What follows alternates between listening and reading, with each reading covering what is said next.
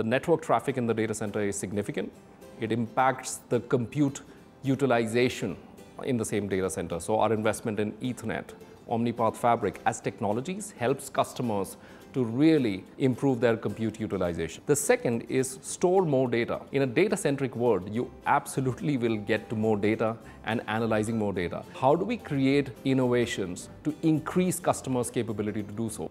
Intel Optane DC persistent memory helps customers to do that. Whenever a company wants to go to analytics software, they actually have two choices. They could either buy some software which is installed within their environment hmm. or they could buy a software that is on the cloud.